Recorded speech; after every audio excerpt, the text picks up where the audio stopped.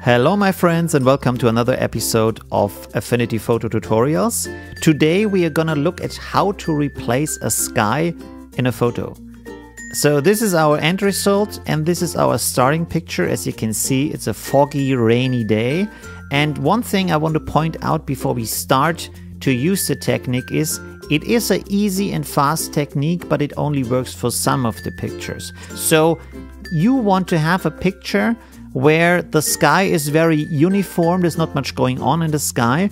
The sky has to be foggy, but the background, uh, the foreground should be as clear as possible. And the horizon should be obstructed by other stuff so you don't see it directly, so it gives you the nicest result.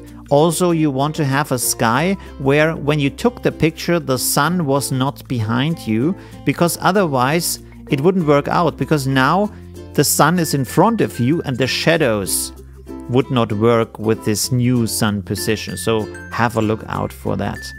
Um, I already prepared the picture and I already prepared the sky. I like to have the sky in a higher resolution, which gives me the ability to move it around, rescale it, and fit it into the picture where I think it fits best. So let's get started.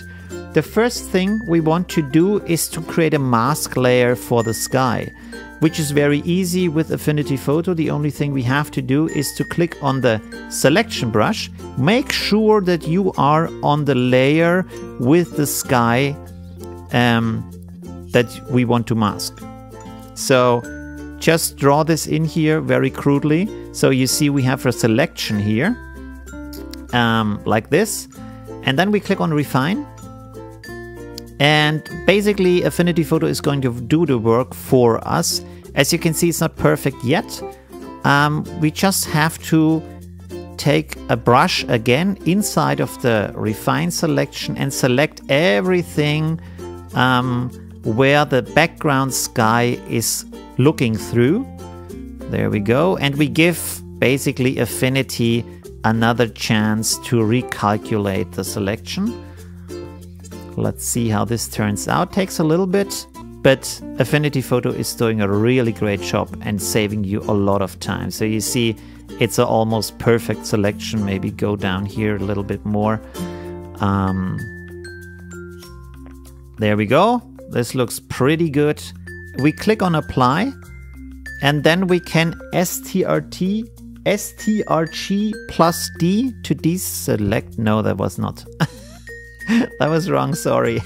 We have to click on the mask layer first. So there's the mask layer now, STRG plus D. There we go. And now we click on the layers and pull out the mask layer below the original layer. Because we don't need it for this layer, we need it for the sky layer. Let's click on the sky layer and rename it sky. And then right click on the sky layer and make a duplicate and then we click and rename it ground because we have a wet road and this means we have a sky reflection in the road. Okay, um, let's press STRG and 0 to resize the picture so we see everything and um, activate the sky layer and see where we want to put it. We want to put it roughly, oh, I'm on the wrong layer again, sky layer. Um, roughly on the horizon. So maybe here is good where it hits the road. Maybe a bit a bit higher up. Maybe here looks to be good. Okay, and then we take the ground layer. Select the ground layer, click on arrange and click on flip vertically. Flip vertically. There we go. So it's upside down. And these green lines guide you so it's really at the same position. We just changed the height. Um, uh, of the location. So we connect them down here. There we go. Maybe put it a little bit higher with our arrow keys. There we go. Very nice. And now um, let's hide the ground layer again. Click on the sky layer and then click on the mask layer and push it up onto the sky layer. So the mask works for the sky layer and you can see it's a very nice selection already. Uh, the next thing we want to do is click on the sky layer again and click on multiply so it is mixing with the background uh, of the picture.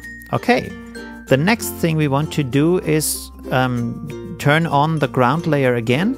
And this time we don't set it to multiply, we set it to overlay. So it's a bit more flashy from the color. And we need to create a mask layer for this too. So hide it again and click on the background with our original picture. And then we go again to the selection brush and make it a bit smaller maybe. There we go. And we select a little bit of the wet parts or of the shiny parts of the road. Then we go again into refine. And now we can do it um, more roughly to give it a second chance because the first part is defining what is the background and the second part is giving affinity the chance um, to make a better finer selection. So let's see how this turns out. This looks very good. Maybe try it back here also yes I'm really happy with that Let's click on apply again and then we click on mask layer again and we pull out the mask layer and we pull it onto the ground layer. There we go. Make the ground layer visible. And now um, STRG plus D to deselect it and I want, let's click the mask layer and we click on layer and invert. So it's not on the on the on these parts, but it is on the darker parts of the road. And um, we will go and click the ground layer and reduce its opacity until we feel, yeah, that looks like a good sort of reflection for the ground. What you see here is something we don't want to have, the coloring on the side in the forest. So we just click on the mask layer and then we click on the paintbrush and give it a give it a good size and zero hardness so it's very soft on the edges. Set it to black and then just roughly um, paint out the side areas of the road. So we hide them carefully. There we go. That's good enough. Okay. So one thing we need to do now is to create an ambient light layer. Ambient light is the light that is not coming directly from a source, but it's reflective from the ground and the surroundings and picks up the color of the surroundings.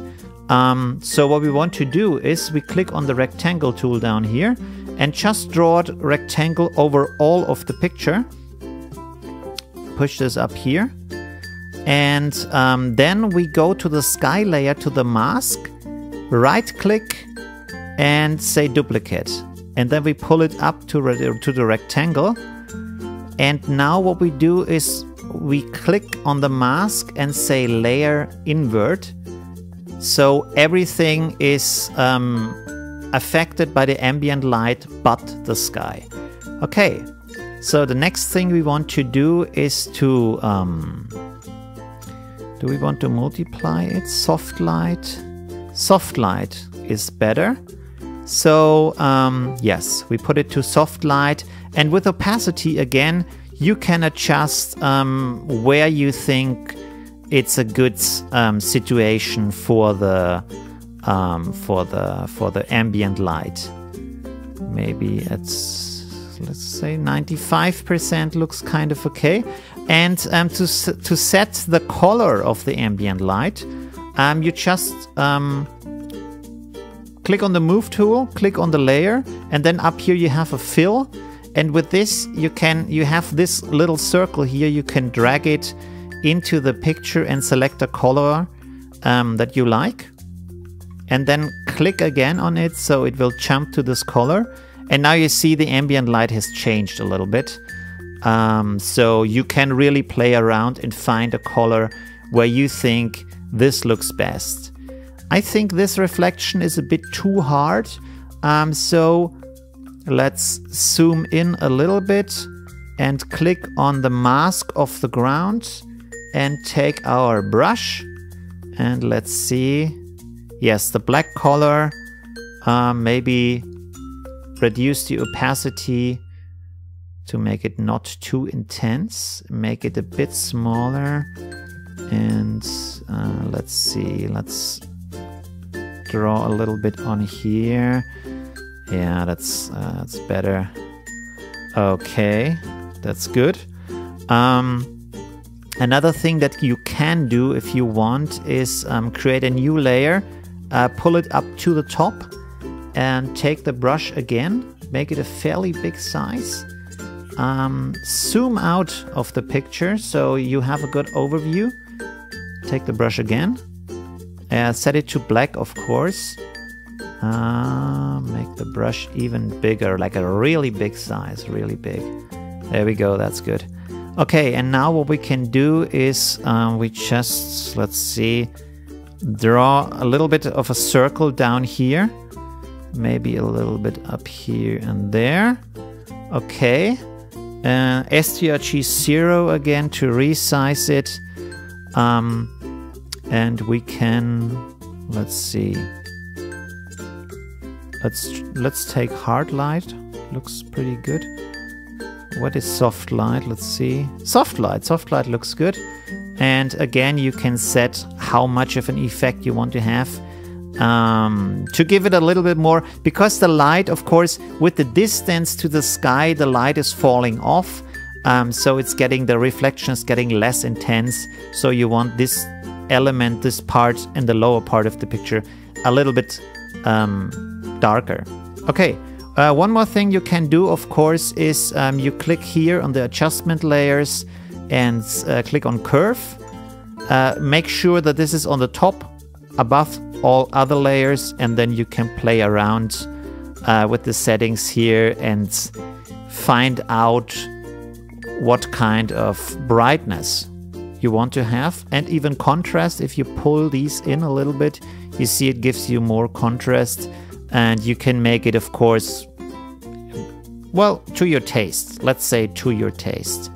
Uh, whatever you feel looks good so you can make it really how can i say postcard a little bit cheesy maybe or more natural it's really up to you and to your taste uh, what kind of result you're looking for so that's it um, this is our finished design of course, you can play around with all the different elements and find something that suits you best and your taste best. Everybody's taste is very different. Some like very intense colors and very dreamy um, skies. Other people um, like it more softer, more natural.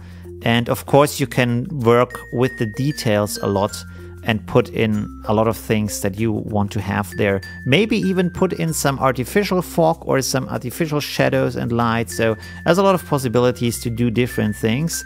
It's up to your taste. Experiment. Don't be afraid of making errors because if you do errors, it's really the best way to learn something about your art and about your design. And maybe you find some techniques that are even better than doing it correctly, doing it the right way. Okay, so that's it. And um, I hope you enjoyed this tutorial. And um, yeah, give me some feedback, suggest new other topics that you want to see, questions that you have um, about doing things in Affinity Photo. And thanks you for watching. Please leave a like. Please subscribe to see um, the further episodes that are coming. And yeah, thank you for being a great audience. See you soon. Goodbye. Have a nice day.